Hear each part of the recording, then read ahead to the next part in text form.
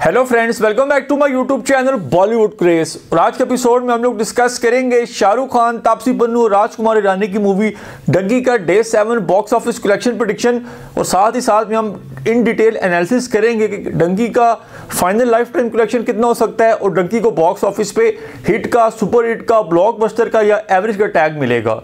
तो हमारे साथ आखिर तक बने रहिएगा। फ्रेंड सबसे पहले बात करें आज डे सेवन की वेनसडे की। तो आज सेकंड वर्किंग डे है इस वीक का डंकी मूवी के लिए।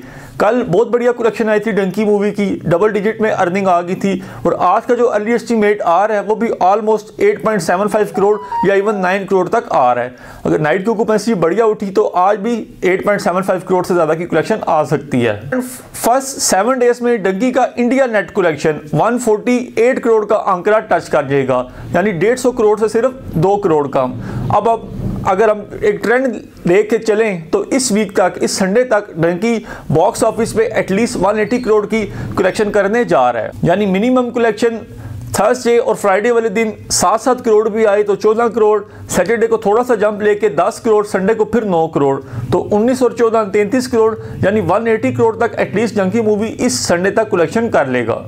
फ्रेंड जिसके बाद डंगी का नेक्स्ट टेस्ट होगा नेक्स्ट मंडे वाले दिन। अगर वो भी सस्टेन कर गया तो डंगी मूवी एटलीस्ट 270 275 करोड़ तक लाइफ टाइम जा सकता है इंडिया नेट में।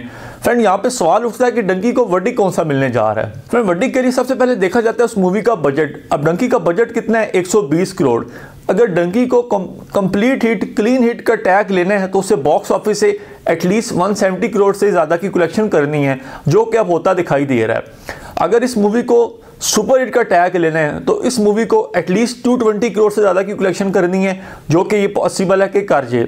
लेकिन अगर इस मूवी को ब्लॉकबस्टर का टैग लेना है तो इसे एटलीस्ट 280 करोड़ का आंकड़ा पार करना है। और इसी तरह ऑल टाइम ब्लॉकबस्टर के लिए इसे एटलीस्ट 320 330 करोड़ की कलेक्शन करनी है। तो फ्रेंड मुझे पर्सनली लगता है कि डंकी का जो फाइनल वर्डिक है, वो आँख मचोली होगी सुपर हिट के बीच में और ब्लॉकबस्टर के बीच में। अगर वर्ल्ड वाइड कलेक्शन भी थोड़ा सा सपोर्ट मिल गया इंडिया नेट कलेक्शन भी अच्छी आती रही, यानी 300 करोड़ के जितने करीब जा सका डंकी मूवी तो उसे ब्लॉकबस्टर बनने का मौका मिल जाएगा। फिर अगर हम यहाँ पर डंकी का final life time collection predict करें तो 250 करोड़ से थोड़ा सा ज़्यादा आई थिंक 260 265 करोड़ के आसपास रहेगा, जहाँ से एक कंप्लीट सुपर हिट का टैग मिल जाएगा।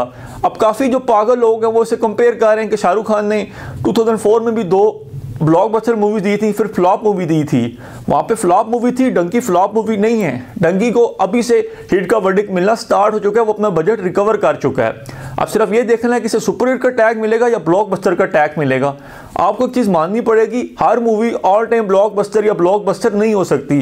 कोई मूवी हिट भी होंगी, कोई सुपर हिट भी होंगी, कोई सेमी हिट भी होंगी। क्योंकि हर मूवी की रिलीज़ बार एक अलग सिनेरियो होता है। अब एक मूवी को अगर तीन मूवी के साथ क्लैश कर दिया जाए तो वो कैसे ऑल टाइम ब्लॉकबस्टर बन सकती है? तो आई थिंक ये ईयर अगेन शाहरुख खान का ही नाम रहा है।